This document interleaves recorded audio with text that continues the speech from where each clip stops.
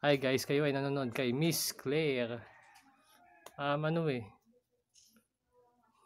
Um, ang laki ng problema ko eh. Pero ano, bago tayo mag dumako dun sa isi-share ko. Ano muna, shout out muna sa ano. Sa banks ko na katulad ng kay kay Lisa Manoban.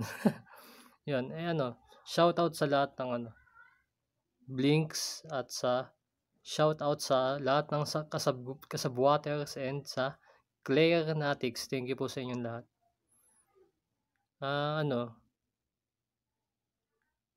i-share ko lang kung yung ano.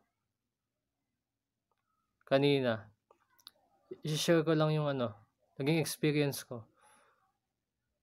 Kasi yung sibuyas pinaiyak ko at dyan nagtatapos ang ating vlog. Ito po si Claire na nagsasabi na wala na akong sasabihin. Thank you